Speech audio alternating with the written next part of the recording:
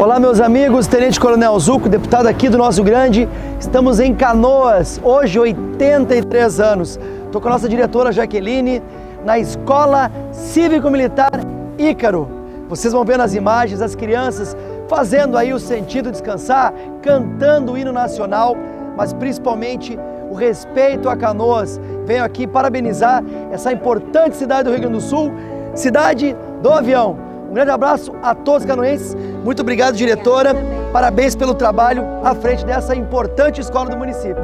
Um abraço. Sou Gabriel Proença de Quadros, tenho 11 anos, aluno do sexto A da primeira escola de canoas cívico-militar, chamada Ícaro. Tenho um imenso orgulho de ser canoense. Canoas, parabéns!